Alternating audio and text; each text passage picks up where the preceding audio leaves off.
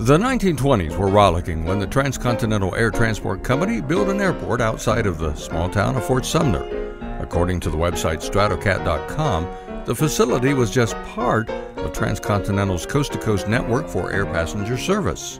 Then, Brother, can you spare a dime? the Great Depression hit. The company collapsed, and a decade would pass before the airport saw activity.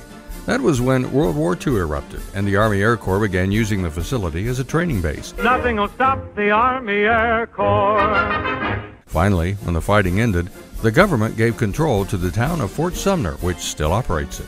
Eventually, NASA arrived, and the website said the scientific balloon flight facility became an important presence, the second permanent launch location for NASA's balloon program.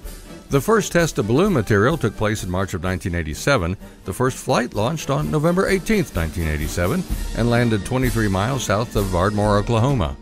Launching balloons, a far less expensive platform for gathering higher atmospheric data than rockets, was also rather low tech. A rented crane with outriggers to keep the crane from tipping over was used for the first launches. Eventually, the scientific balloon facility would own a 35 ton crane, but during a heavy storm, heavy winds lifted the crane and turned it 90 degrees. As a result, the Mobile Launch Vehicle, or MLV, was designed by New Mexico State University engineers.